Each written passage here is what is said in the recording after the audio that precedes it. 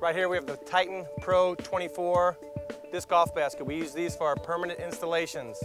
This basket's fabricated out of half inch steel everywhere and it's all hot dip galvanized. All the chain is also hot dip galvanized. Uh, these rings are uh, galvanized and then coated with a copolymer. Target up there is a really good idea for players. A lot of players will be trying to throw down here or make it land in the basket, but you're really supposed to be up in there. A couple design features here for this basket that are really help the catching ability of the basket. One is we've got three sets of chains.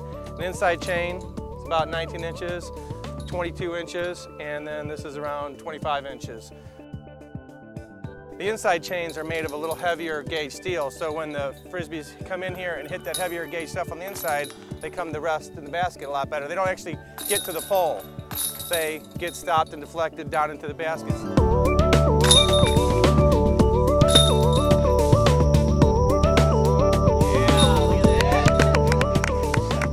Also, if you notice right here, the baskets are quite a bit deeper than most baskets.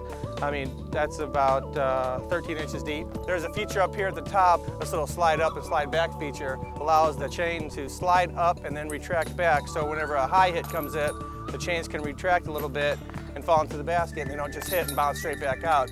Uh, these things are indestructible. They're guaranteed against bending and breaking. These baskets catch really well when you fire that thing up into there. They're not going to spit through or spit back out. These are the best catching targets on the market and they're the most indestructible. They're guaranteed against bending and breaking for life.